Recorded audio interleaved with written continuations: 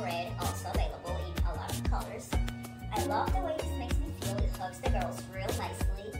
And I think it might be a little too much for the club, but perfect for the bedroom, if you know what I'm talking about. So I'm going to show you the back.